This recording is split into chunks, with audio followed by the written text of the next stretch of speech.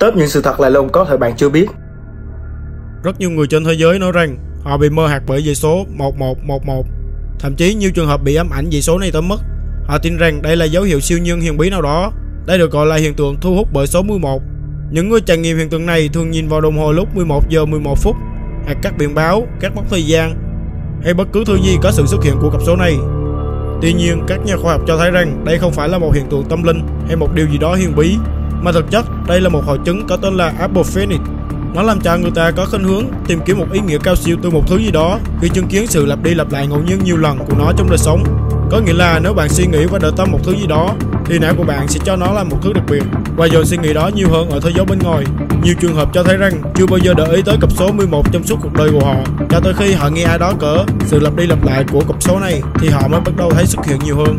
Vì vậy, sau khi xem xong video này, có thể bạn sẽ chứng kiến sự xuất hiện của cặp số 11 ở khắp mọi nơi, có thể là trên đồng hồ, trên điện thoại, TV